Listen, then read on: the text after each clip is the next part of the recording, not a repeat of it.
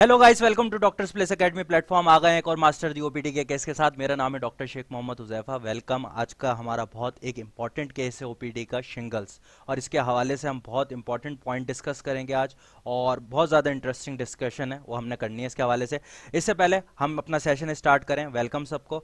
और आपको पता है, आजकल हम लोग रेगुलर एक्टिविटीज़ कर रहे हैं। आपको हमारा बेसिकली अगर आप देखना चाहें तो जाके शॉर्ट्स वगैरह हम लोग काफ़ी फ्रिक्वेंटली अपलोड कर रहे हैं। तो अपने दोस्तों के साथ लाजमी शेयर करें। और लाजमी सब्सक्राइब करें। आप सब्सक्राइब करेंगे तो मोटिवेशन बढ़ेगा मोटिवेशन बढ़ेगा तो हम ज़्यादा से ज़्यादा वीडियोस अपलोड करेंगे और अच्छे से अच्छा कंटेंट आपके लिए लेके आएँगे। अभी हमारे थर्टी लेक्चर्स हो गए मास्टर दी ओपीडी के। तो अब हम पचास की तरफ़ इनशाला ताला पहले फिफ्टी लेक्चर्स होंगे, फिर हंड्रेड की तरफ़, जो मोस्ट कॉमनली इनशाला फिर हम सारी ओपीडीज कवर कर लेंगे। जितनी भी मोस्ट कॉमनली और रियर भी आती हैं, वो भी हम देख लेंगे। तो ये सारी चीज़ें हमने कवर करनी है और इसके अलावा हमने अलग से टॉपिक भी स्टार्ट करने उन स्टूडेंट्स के लिए। ये तो चलो उनके लिए जो प्रोफेशनली काम कर रहे हैं।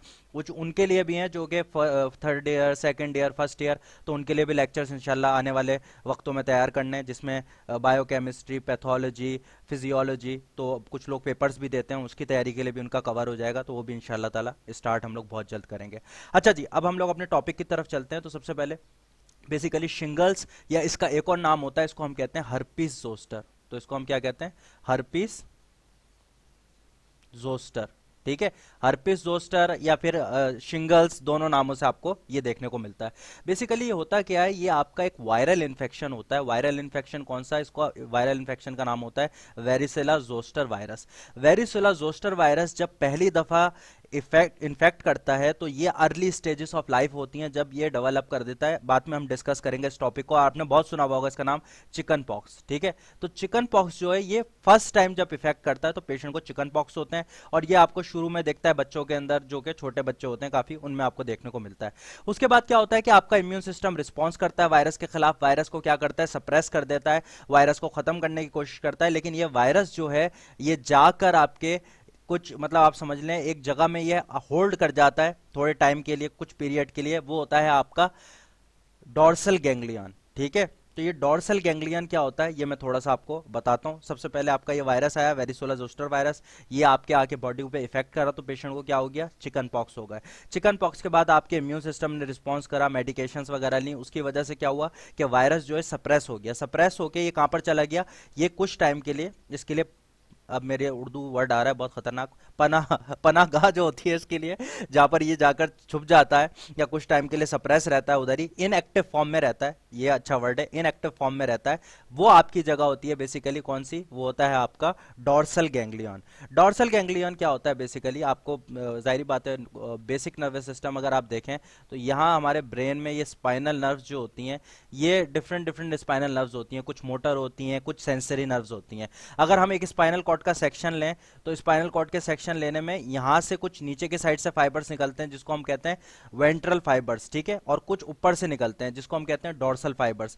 डॉर्सल फाइबर्स जो होते हैं अक्सर, ये आपके होते हैं सेंसरी फाइबर्स। अच्छा ये जो आपके डॉर्सल फाइबर्स, ये बॉडी के बाहर जाते हैं, यहाँ पर एक गैंग्लियंस होते हैं। गैंग्लियंस क्या कहते हैं? गैंग्लियन किसे कहते हैं? बेसिकली गैंग्लियन कहते हैं हम collection of the cell body outside the central nervous system तो ये जितना भी ब्रेन के अंदर होता है collection of the cell bodies इनको अगर मिसाल के तौर पर अभी मैं थोड़ा सा क्योंकि एक्सप्लेन कर रहा हूँ तो आपको हर चीज़ समझ में आनी चाहिए, ये बहुत इंपॉर्टेंट है। अगर मिसाल के तौर पर collection of the cell bodies cell bodies क्या न्यूरॉन की एक सेल बॉडी होती है और फिर एक एक्सोन होता है, ठीक है? तो ये जो सेल बॉडी है, अगर इसकी कलेक्शन ब्रेन के अंदर होती है या सेंट्रल नर्वस सिस्टम के अंदर होती है तो इसको हम क्या कहते हैं? न्यूक्लियस अगर ये collection of the cell body ये कहाँ पर मौजूद हुई? अगर आपके सेंट्रल नर्वस सिस्टम में मौजूद हुई तो हम इसको न्यूक्लियस कहते हैं। और अगर यही collection of the cell bodies outside the central nervous system हुई तो इसको हम गैंग्लियंस कहते हैं। तो समझ गए गैंग्लियंस क्या होते हैं? तो बेसिकली ये गैंग्लियन है, कौन सा गैंग्लियन है? ये डॉर्सल गैंग्लियन है, ठीक है? अब ये डॉर्सल गैंग्लियन जो है, ये सेंसरी गैंग्लियन होता है, इसके अंदर ये आपका वायरस जो होता है, ये इनएक्टिव फॉर्म में मौजूद होता है, ठीक है? अब ये सेंसरी नर्व्स आपकी जगह जगह बॉडी में जारी होती हैं, जैसे कि आपको यहाँ पर दिख रहा है, आपकी स्पाइनल नर्व्स आपको पता है सी वन से सी सेवन तक, फिर इसके बाद टी वन से टी ट्वेल्व तक तो ये सेंसरी नर्व्स भी जारी होती हैं यहाँ से मोटर नर्व्स भी जारी होती हैं तो ये बॉडी में आपको पार्ट दिखा रहे हैं कि सेंसरी कहाँ कहाँ पर सप्लाई होती है तो सी टू आपके इस एरिया पर सप्लाई करती है सी थ्री यहाँ पर करती है सी फोर यहाँ पर करती है तो इसको बेसिकली हम डर्माटोम्स कहते हैं जहाँ जहाँ आपकी नर्व सप्लाई करती है, ये डर्माटोम्स कहलाती हैं। तो ये आपको डर्माटोम्स दिख रही हैं। तो बेसिकली एक आपको आइडिया हो गया होगा। अब क्या होता है कि जब ये वायरस रीएक्टिवेट होता है रीएक्टिवेट कब होता है? कोई किसी पेशेंट का मिसाल के तौर पर इम्यून सिस्टम सप्रेस हो गया। किसी को ऐसा हुआ कि उसको बेसिकली ट्रांसप्लांटेशन की सर्जरी हुई, उसकी वजह से इम्यूनोसप्रेसेंट मेडिकेशन खा रहा है। कोई ऐसा हो सकता है जो क्रोनिक स्ट्रेस के अंदर है।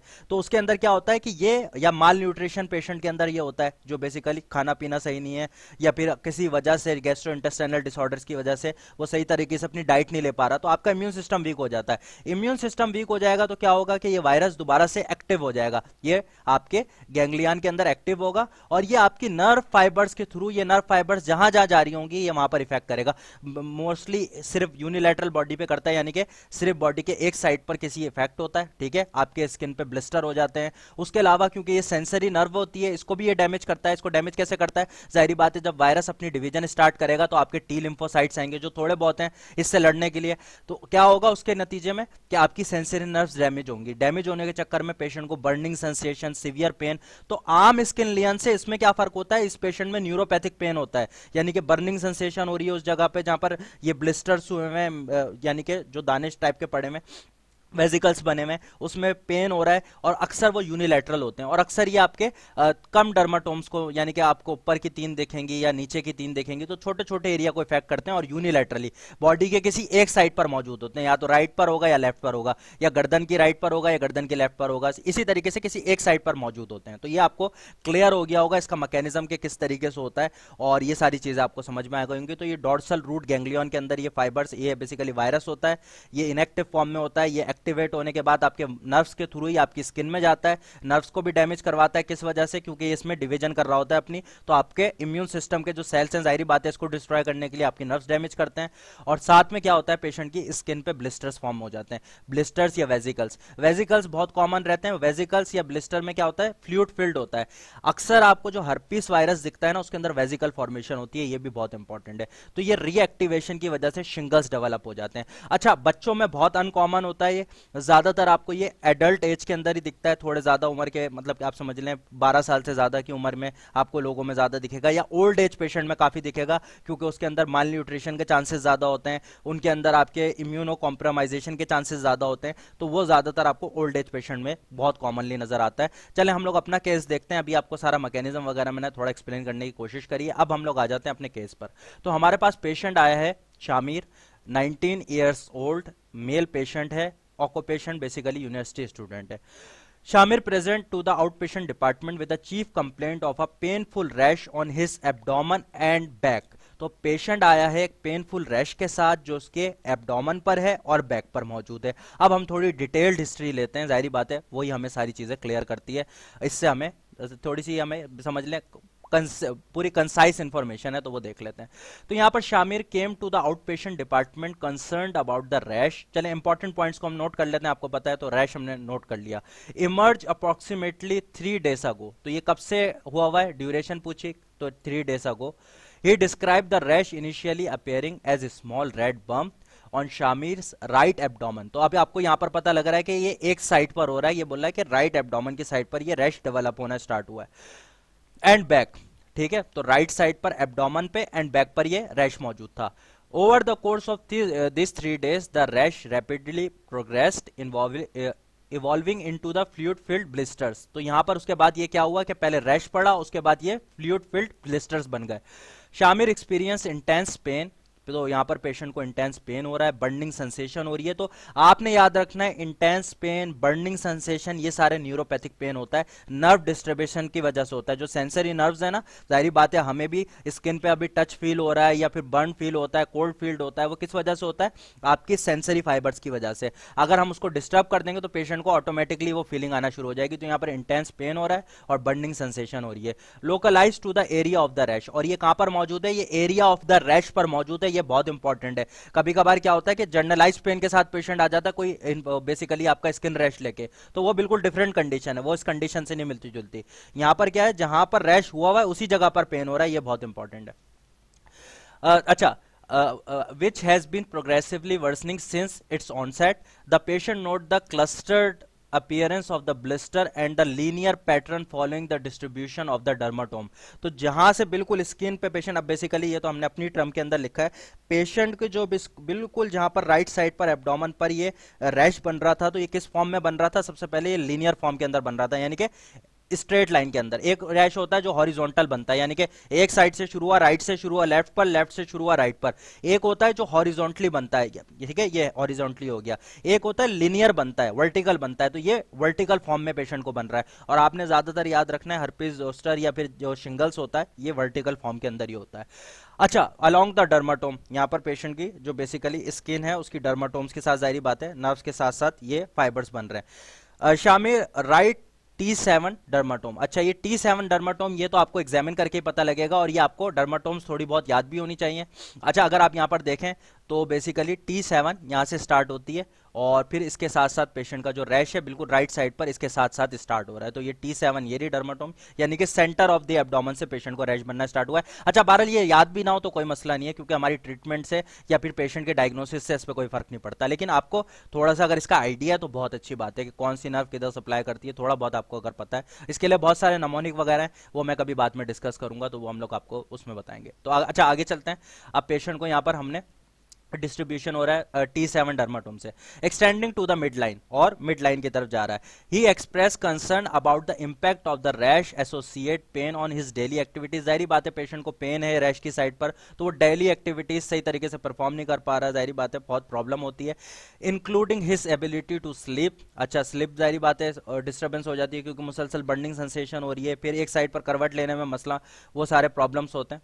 Participate in the normal play and social interaction. Shamir mentioned that the pain seems to be worsened with the movement and touch. तो यहाँ पर अभी अभी मैंने आपको बताया कि टच और मूवमेंट के साथ ये और भी इंक्रीज होता है वजह क्या है क्योंकि सेंसरी नर्व जो होती हैं, वो बहुत सेंसिटिव होती हैं अभी हम आपको अपने, अगर आप अपने हाथ पे टच करेंगे या किसी बर्निंग जगह पर टच करेंगे तो आपको फॉरन फील होने लगता है। अब यहाँ पर क्या है नर्व जो है डिस्टर्ब हुई हुई है। वजह क्या है आपका? इम्यून सिस्टम उसको ट्विच कर रहा है वायरस को खत्म करने के लिए।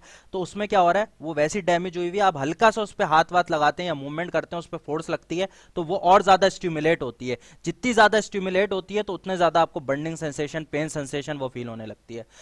अच्छा he also note note that Shamir appears uncomfortable and distress due to the pain he report that he uh, he have not attempt any specific treatment to for the rash prior to the seeking medical attention अच्छा अब यहाँ पर एक बहुत important चीज़ है कि patient को सबसे पहले हमने सारी चीज़ें देख ली हैं। एक रैश हुआ है पेन को, जो लिनियर फॉर्म के अंदर मौजूद है।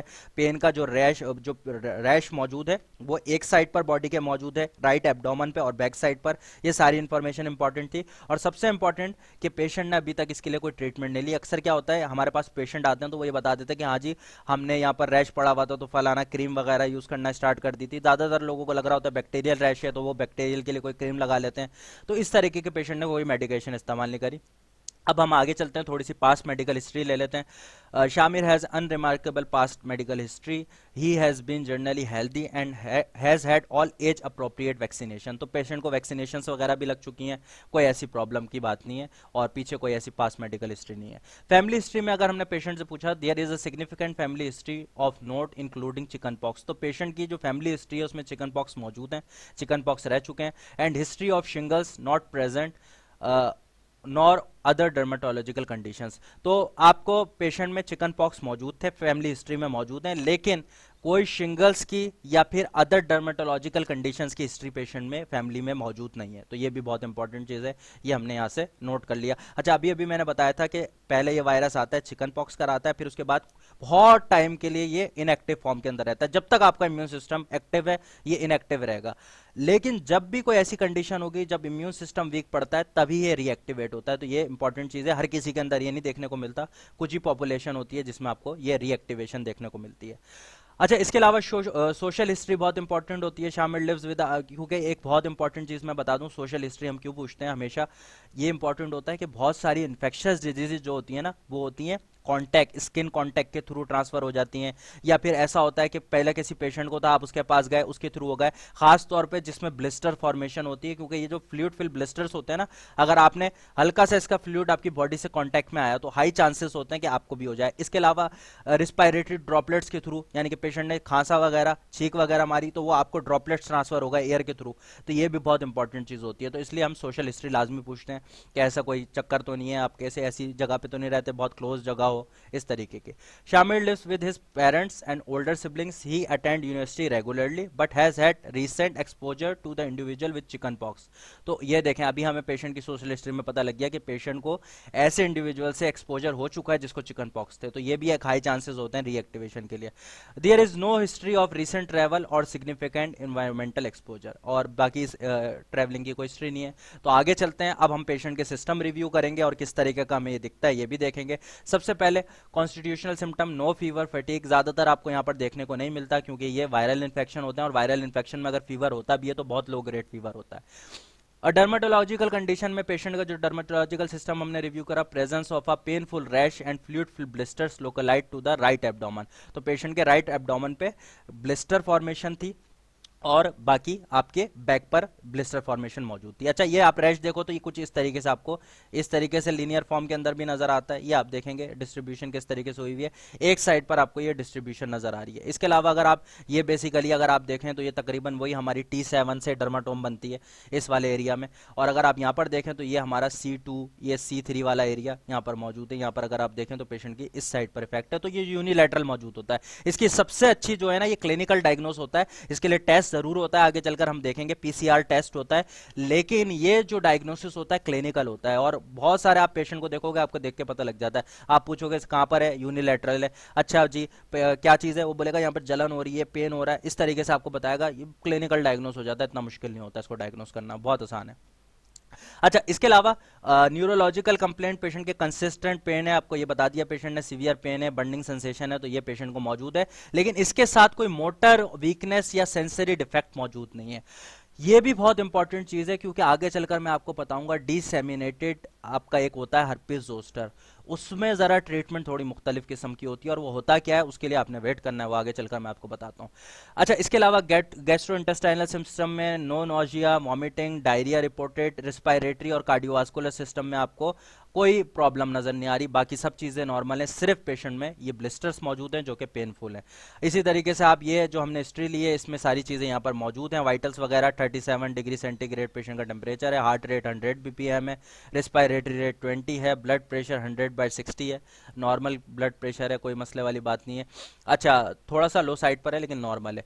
आ, इसके अलावा हमने स्किन एग्जामिनेशन कर लिया वो मैंने आपको बताया। राइट टी से आपके पेशेंट में एक्सटेंड हो रहा है। वो सारी चीज़ें यहाँ पर मौजूद हैं। इसके अलावा यहाँ पर हाइपर एल एलजीसिया यानी कि पेन हो रहा है पेशेंट को एलोडेनिया। एलोडेनिया बेसिकली कहते हैं हम आ, उस चीज़ के मतलब इसको आप समझ सकते हैं कि पेशेंट को बर्निंग सेंसेशन या पेन हो रहा है उस सेंसेशन से जो नॉर्मली कुछ नहीं करती। जैसे कि मिसाल के तौर पर अगर मैं नॉर्मली स्किन पे अपने टच करता हूँ तो इससे मुझे कोई बर्निंग सेंसेशन या पेन नहीं होता, सिर्फ़ टच की फील होता है। लेकिन जैसी पेशेंट उस साइड पर टच कर रहा है, जहाँ पर ये ब्लिस्टर मौजूद है तो पेशेंट को अचानक से उस टच से बर्निंग सेंसेशन और पेन फील हो रहा है, जिससे नहीं होना चाहिए, उसी को हम एलोडेनिया कहते हैं। समझ गए आप बात? तो इसको सिंपल वर्ड में मैंने ये भी समझा दिया। और बाकी कोई न्यूरोलॉजिकल डेफिसिट नहीं है, वही सारी चीज़ें फ़िज़िकल एग्जामिनेशन में। तो अब हम आगे चलते हैं, अपनी मेन चीज़ पर आ जाते हैं कि पेशेंट की ट्रीटमेंट क्या होनी चाहिए। अब ट्रीटमेंट में ही मैं आपको बताऊँगा डिसेमिनेटेड वाला पार्ट भी। अभी सबसे पहले हम ट्रीटमेंट देखते हैं। एंटीवायरल मेडिकेशन हम पेशेंट को देते हैं। इसके लिए सबसे बेहतरीन मेडिकेशन होती है हमारे पास ए साइक्लोवियर अब ए साइक्लोवियर हमने कितनी देनी है? हमने देनी है 800 हंड्रेड पर oral five times a day मतलब डेली देनी है। कितने Uh, मतलब फाइव टाइम्स डेली देनी है पेशेंट को? कितने दिन के लिए? सेवन टू टेन डेज़ तो 800 हंड्रेड आपने पेशेंट को देनी है पर oral five times daily for seven to ten days ये बहुत इंपॉर्टेंट अच्छा जी, इसके अलावा हम लोग यूज़ कर सकते हैं फैम साइक्लोवियर जो कि 500 हंड्रेड होती है। ये जरा आसान है, ये आपने टीआईडी यानी कि थ्री टाइम्स अ डे देनी होती है। अब फाइव टाइम्स अ डे मतलब फाइव टाइम्स डेली ये ज़रा मुश्किल हो जाता है, क्योंकि पेशेंट को टाइम मैनेज करना मुश्किल होता है तो ये ज़्यादा बेहतर ऑप्शन होता है कि आप पेशेंट थ्री टाइम्स मतलब मोस्टली टी आई डी खा ले, यानी कि एक सुबह, दोपहर और शाम। ये ज़्यादा इजी ऑप्शन होता है। या वेल साइक्लोवेयर का भी बिल्कुल 100 एम है, पर ओरल टी आई डी ये भी फॉर सेवन डेज़ आप इसको ले सकते हैं। वरना अगर आपको जाहरी बात है, कोई प्रॉब्लम नहीं है तो फिर ए साइक्लोवेयर अच्छा ऑप्शन है। आपने फाइव टाइम्स डेली खाना है और कितने दिन के लिए देना है पेशेंट को? सेवन टू टेन डेज़ के लिए। तो ये ए साइक्लोवेयर आप दे सकते हैं। इसके अलावा अब मैंने एक चीज़ आपको बताई थी डिससेमिनेटेड डिससेमिनेटेड का मतलब क्या होता है? डिससेमिनेटेड शिंगल्स या हर्पिस जोस्टर होता है कि पेशेंट को आपके इसमें एक और कंडीशन मौजूद है, यानी कि स्किन कंडीशन के अलावा पेशेंट को नमोनिया मौजूद है। कोई गैस्ट्रो इंटेस्टाइनल सिम्टम मौजूद है, इसका मतलब कि वो शिंगल्स जो है या फिर वो जो वायरल इन्फेक्शन है, वो आपके स्टमक या लंग्स की तरफ़ भी जा चुका है। अब ये थोड़ा सीवियर किस्म का पेशेंट होता है, या ऐसा पेशेंट जिसका इम्यून सिस्टम कॉम्प्रोमाइज है, या ऐसा पेशेंट जिसके ब्रेन को इन्फेक्ट कर दिया, जिसको हम एनसेफ्लाइटस कहते हैं तो उन कंडीशन के अंदर आपने फिर देनी होती है आईवी ट्रीटमेंट और आईवी ट्रीटमेंट कितनी है, ये आपने देनी है। अच्छा ये जितनी भी ट्रीटमेंट मैं बता रहा हूँ, ये ट्वेल्व ईयर्स से ऊपर के बच्चों को है तो ट्वेल्व ईयर्स से ऊपर के आप ये ट्रीटमेंट इस्तेमाल कर सकते हैं, कोई मसला नहीं है। तो ए साइक्लोवियर आपने देनी है 10 एम पर के के हिसाब से ये पेशेंट को देनी है और ये भी आपने 7 टू 10 डेज़ के लिए देनी है और हर 8 घंटे में आपने ये इंजेक्शन लगाना होता है एवरी 8 आवर्स तो ये आपने याद रखना है कितना 10 एम पर के तो ये आपने किसको देनी है? जिसको डिसमिनेटेड है या इम्यूनो कॉम्प्रोमाइज पेशेंट है, उसको आपने ये आईवी एसाइक्लोवियर देनी है। इसके अलावा आप ज़ाहिर बात है पेशेंट को पेन हो रहा है पेन के लिए भी कुछ देना है। अब ज़ाहिर बात है अगर कुछ लाइट पेन है, बिल्कुल हल्का सा पेन है तो उसमें आप बेसिकली ट्रामाडोल वगैरह इस्तेमाल कर सकते हैं। ज़्यादातर हम लोग यही यूज़ करते हैं तो ट्रामाडोल आप पेशेंट को दें। बेसिकली ट्रामाडोल का डोज कितना होना चाहिए, ये हम लोग टाइट्रेट भी करते रहते हैं, लेकिन इनिशियल डोज जो होता है, वो आपने फिफ्टी टू हंड्रेड एम आप पेशेंट को दें, बहुत अच्छा इफ़ेक्ट करती है। और पेशेंट को पेन रिलीफ होगा फॉर मॉडरेट मतलब मॉडरेट नहीं, आप माइल्ड पेन के लिए समझ लें माइल्ड पेन के लिए हम ये दे सकते हैं। अगर पेशेंट को मॉडरेट टू सीवियर पेन हो रहा है, जैसे कि हमारे पेशेंट को हो रहा है तो इसमें ज़्यादा अच्छा ऑप्शन हमारे पास होता है गाबा पेंटीन तो यहाँ पर हमारे पास कौन सा ऑप्शन अच्छा होता है? गाबा पेंटीन बेसिकली ये नर्व ब्लॉकर्स होती हैं, और ये बहुत अच्छा हमारे पास इससे पेन रिलीव होता है। खास तौर पे अगर किसी को पोस्ट ऑपरेटिव पेन होता है, तब भी हम यहाँ पेशेंट को देते हैं गाबा पेंटिन उसके लिए भी बहुत अच्छा होता है। न्यूरोपैथिक पेन के लिए बहुत अच्छी मेडिकेशन है। इसका डोज हमारे पास तकरीबन 100 से 300 हंड्रेड होता है। और ये आप पेशेंट को दे सकते हैं। तकरीबन ये भी आपने एवरी एट आवर्स देनी होती है पेशेंट को। कितना? एवरी एट आवर्स देनी है। और ये तकरीबन अगर आप चाहें तो तीन दिन के लिए इस्तेमाल करते हैं। मैक्सिमम हम तीन दिन के लिए इसको इस्तेमाल करते हैं। इससे अच्छा इफ़ेक्ट पड़ता है। अगर नहीं पड़ रहा तो मतलब आप मजीद इसका डोज बढ़ा सकते हैं और थोड़ा सा और टाइम के लिए दे सकते हैं। तो हंड्रेड एम से स्टार्ट करें। अगर नहीं फ़र्क पड़ रहा तो आहिस्ता आहिस्ता से आप डोज इंक्रीज करते हैं। बाकी ट्रामाडोल जो है, वो अगर आप ड्यूरेशन की बात करें तो यही सेम आपका जितनी देर के लिए पेशेंट को ये प्रॉब्लम है।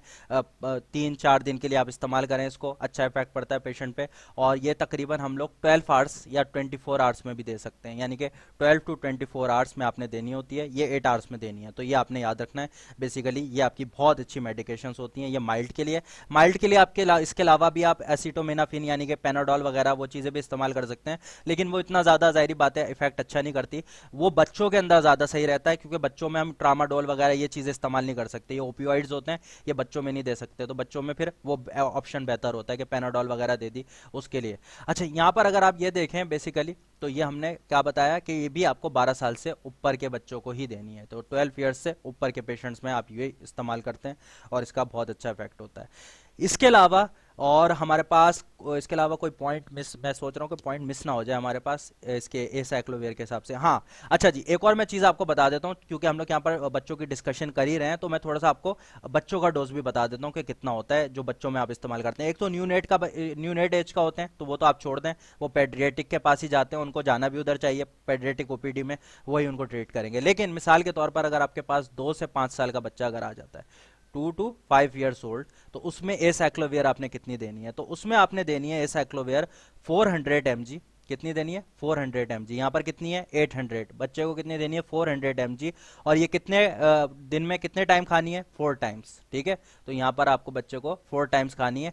और सेम चीज़ कितने डेज़ के लिए? ये तकरीबन हमारे पास फाइव डेज़ के लिए हम इस्तेमाल करते हैं। ये तो सेवन और टेन डेज़ के लिए होती है। यहाँ पर हम लोग फाइव डेज़ के लिए देते हैं। अच्छा इसके अलावा हमारे पास एक और ऑप्शन होता है कि ये तो एक हो गया दो से पाँच साल का। इसके अलावा हमारे पास आता है छह से लेके ग्यारह साल तक का बच्चा छह से ग्यारह साल का बच्चा, छह से जो ग्यारह साल का बच्चा जो होता है, इसमें तकरीबन हमारे पास डोज बिल्कुल सेम होता है। अभी आप डोज देखोगे तो बिल्कुल सेम है। एट हंड्रेड एमजी अब इसमें फ़र्क क्या होता है? सबसे बड़ा फ़र्क ये होता है कि ये फाइव टाइम ये आपकी जो ट्रीटमेंट होती है टोटल ये फाइव डेज़ के लिए होती है। और दूसरी बात, इसमें डोज थोड़ा सा कम होता है एज कंपेयर टू ऊपर। आप ऊपर कितना इस्तेमाल कर रहे थे? आप ऊपर इस्तेमाल कर रहे थे तकरीबन फाइव टाइम्स यहाँ पर आप इस्तेमाल करेंगे फोर टाइम्स ठीक है? तो उससे थोड़ा सा डोज में भी फ़र्क पड़ता है और ड्यूरेशन में भी हमने बताया थोड़ा सा फ़र्क है। यहाँ पर फाइव डेज़ के लिए इस्तेमाल होगी, यहाँ पर ten to seven to ten days के लिए इस्तेमाल होगी। तो ये आपने फोर टाइम्स देनी है। बच्चों को और छः से ग्यारह साल के जो हैं। तो ये भी मैंने आपको बता दिया 800 हंड्रेड एम जी बिल्कुल सेम है ऊपर वाले की तरह, लेकिन यहाँ पर आप फाइव टाइम्स देते हैं, यहाँ पर आपने फोर टाइम्स देनी है। यहाँ पर आप सेवन टू टेन डेज़ के लिए करते हैं, यहाँ पर आप फाइव डेज़ के लिए करेंगे। तो ये हमारा बच्चों के हवाले से भी डोजेज क्लियर हो गया। इसके अलावा एक इसका बेसिकली अगर आप उसके एमजी कैलकुलेट करने के हिसाब से दे रहे हैं तो थोड़ा मुश्किल होता है। फाइव हंड्रेड पर एम यानी कि एम स्क्वायर ये डोजेज के हिसाब से भी आप बच्चे को अगर चाहें तो इंजेक्शन दे सकते हैं। बहरहाल ये ऑप्शन ज़्यादा बेहतर रहता है। तो ये टोटल हमारे पास ट्रीटमेंट होती है शिंगल्स की और हम किस तरीके से करते हैं या हर्पीस जोस्टर की। इसके अलावा यहाँ पर आपको और एक चीज़ लिखी हुई है प्रिवेंशन के लिए वैक्सीन के बारे में। आर जेड वी वैक्सीन होती है, लेकिन ये अभी मैं इसके बारे में, ये लिख दिया मैंने इन्फॉर्मेशन के तौर पर, आपको पता होना चाहिए। फॉर द पेपर्स अगर आप कभी पेपर्स की तैयारी कर रहे हैं तो ये चीज़ें पता होनी चाहिए। लेकिन अभी लेटेस्ट 2020 से ये बंद हो चुकी है, ठीक है? तो अभी टू टू थाउज़ेंड ट्वेंटी से अमेरिकन गाइडलाइंस में भी बंद है ये, और इसको हम नॉर्मली इस्तेमाल नहीं करते प्रिवेंशन के लिए डायरेक्ट अब पेशेंट की आप ट्रीटमेंट ही करते हैं। तो ये हमारा केस था आज हर्पिस जोस्टर का या शिंगल्स का। आई होप आपको ये पसंद आया हो। बाकी अगर कोई चीज़ आपको लगता है कि एक्स्ट्रा और भी हम लोग कुछ कर सकते हैं या देते हैं पेशेंट को तो वो आप चैट बॉक्स में हमें ज़रूर बताएँ और इसी तरीके से हमारी ओपीडीज़ को आप लाइक करते रहें और उम्मीद करता हूँ कि आप अपने दोस्तों के साथ भी शेयर करेंगे। थैंक यू वेरी मच अल्लाह हाफिज़. Bye bye take care